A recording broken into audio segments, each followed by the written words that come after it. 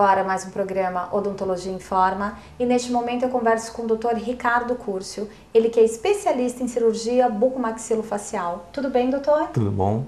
Doutor, muito obrigada por nos receber hoje para falarmos a respeito de um assunto tão importante na odontologia que é a implantodontia, mais especificamente o ato cirúrgico, através da cirurgia guiada. Para isso, doutor, nós vamos começar entendendo o que é a técnica da cirurgia guiada na implantodontia. Juliana, esse é um assunto assim muito importante, é importante mostrar para o público como funciona a cirurgia guiada. A cirurgia guiada é uma cirurgia na qual ela se torna uma cirurgia minimamente invasiva. O que é isso? Nós temos muitos pacientes que têm o um receio e têm o um mito da cirurgia dentro da implantodontia, que a cirurgia vai ter algum tipo de sofrimento, que é o ato cirúrgico. Ele imagina você colocando um implante, ele imagina o ato cirúrgico e cria um certo receio. Tudo isso é um mito. Então, o melhor método para você tirar esse medo, tirar o receio do paciente, é você poder mostrar para o paciente exatamente como que é o procedimento. Ele precisa entender aquilo que está sendo feito. Dentro disso, o principal passo é o planejamento. Sempre no planejamento, você inicialmente você tem que sentir as expectativas do seu paciente. Seu paciente vai falar para você o que, que ele quer. Que na verdade ele não quer um implante, ele quer dentes. Ter novamente aquele sorriso, ele quer novamente poder comer uma maçã, então, na cabeça dele, o que ele quer são os dentes. O implante é o meio pelo qual a gente vai possibilitar que ele tenha esses dentes. Uhum. Então, esse é o principal passo dentro de um planejamento implantodôntico. Uhum. Você saber a expectativa do seu paciente. Então, doutora, a cirurgia guiada é um procedimento, pelo que eu entendi, minimamente invasivo, é isso? É um procedimento no qual você diminui, você minimiza o ato, o ato cirúrgico. Uhum, uhum. Como que ela é feita? Então você tem um planejamento inicial. Esse planejamento inicial é básico, você precisa saber a história desse paciente, se ele toma algum medicamento, se ele tem algum problema de saúde. Isso chama-se anamnese. É o uhum. primeiro passo. Uhum. O segundo passo é saber expectativas, saber o que, que ele quer. Uhum. A partir daí, inicia-se o planejamento. planejamento. Planejamento começa com o quê? Com um exame clínico. Você vai examinar a boca do paciente e ver aqueles dentes que estão ausentes uhum. e ver quais as possibilidades de tratamento que você pode fornecer para esse paciente. Entendi. Então, a partir desse momento, você viu que estão faltando alguns dentes uhum. e aí esse paciente vai chegar para você e falar, doutor, eu morro de medo de fazer uma cirurgia. E isso é muito recorrente, não é isso, doutor? Este medo, esta ansiedade do procedimento cirúrgico, tem muitas pessoas que deixam uh, de passar pelo procedimento justamente por este receio. Sim. Eu, de achar eu, que vai doer também. Sim, então a gente precisa desmistificar, desmistificar isso. Por quê? Uhum. O paciente fica com aquele nossa, como será que vai ser a cirurgia? Será que é um procedimento que eu vou ficar com a boca aberta, ele vai colocar uma broca dentro da minha boca? Isso que passa na cabeça do paciente. Uhum. Então não, você precisa mostrar para ele. Uhum. Como que isso é feito? Ele precisa participar desse planejamento. Na minha opinião, o melhor método para o paciente participar desse planejamento é através do planejamento da cirurgia minimamente invasiva. Que é a cirurgia guiada. Que é a cirurgia guiada. Uhum. Então, como isso é feito? Você fez o exame clínico, delimitou a região onde você vai fazer o seu implante.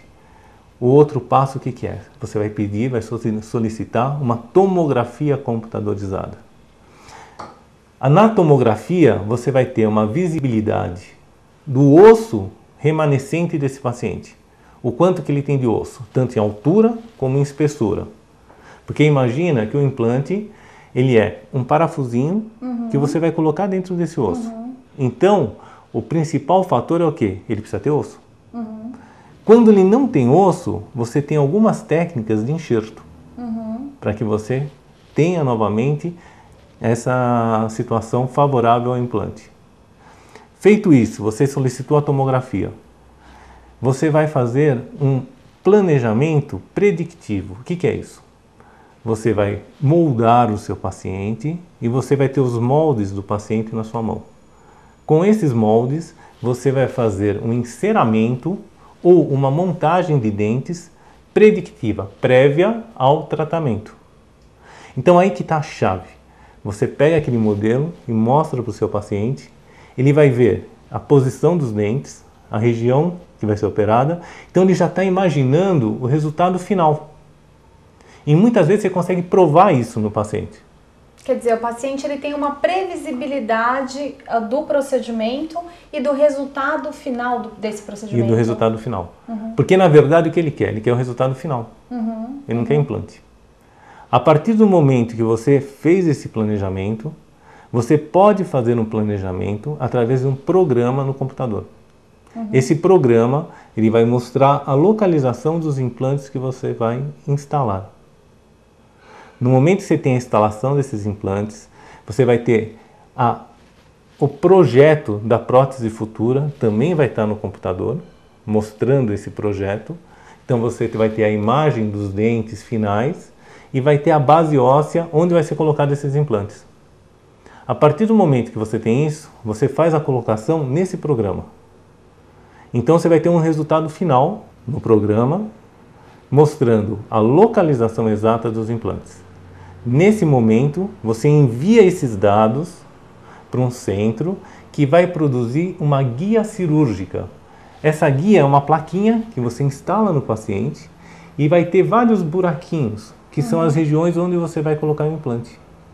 Então você utiliza e na maioria das vezes você nem precisa fazer a incisão, a abertura da gengiva.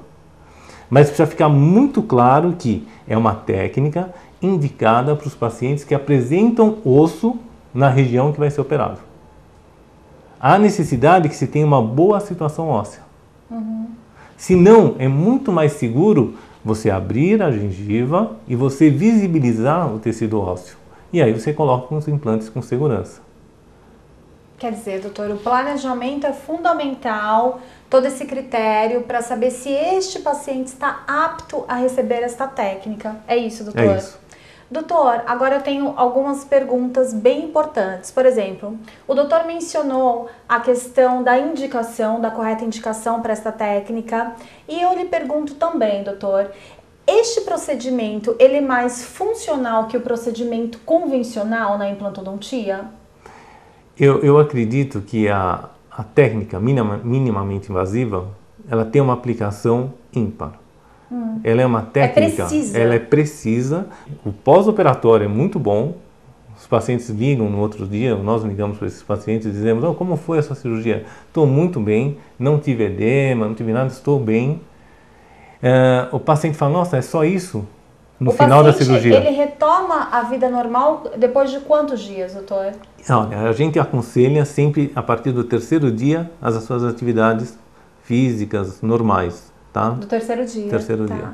Doutor, este procedimento, ele é realizado por todo especialista em implantodontia ou não?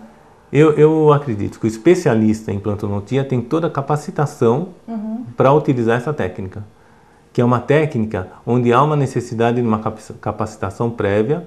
Primeiro, você precisa aprender a utilizar o próprio programa no computador, uhum. além de ter um bom conhecimento anatômico para poder indicar essa técnica cirúrgica. Doutor, como fica a autoestima do paciente que é reabilitado dentro da implantodontia? É, esse é o fator principal, né? Eu, eu acredito que dentro da implantodontia, quando você consegue reabilitar o paciente e traz de volta a sua função, o que, que é a função? Você poder comer, você poder comer uma maçã, você ter a segurança de ir numa praia e poder nadar, ter suas atividades, quando você resgata isso do paciente, é extremamente satisfatório. Então, muitos dos nossos pacientes, eles ficam extremamente agradecidos pela volta à sua vida, ao ganho de qualidade de vida. Que bom. Doutor, muito obrigada pelas suas informações. Parabéns por essa odontologia humanizada que o doutor exercita no consultório, porque o que o paciente quer é isso, é restabelecer função mastigatória, como o doutor mencionou aqui, é ter como consequência estética para obter novamente qualidade de vida. Então, parabéns por essa odontologia e até um próximo programa, até um próximo encontro. Muito obrigado, muito obrigado pela atenção. Eu acredito que seja um assunto de interesse dos nossos ouvintes. E eu espero que você, telespectador, tenha gostado da nossa programação, por isso mande a sua sugestão de pauta para nós através do produção@odontologiainforma.com.br. Continue conosco.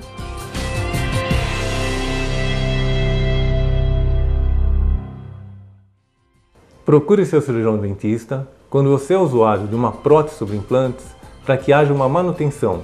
Muitas vezes ela pode ser feita semestralmente, mas há necessidade se haja uma manutenção do trabalho que foi desenvolvido.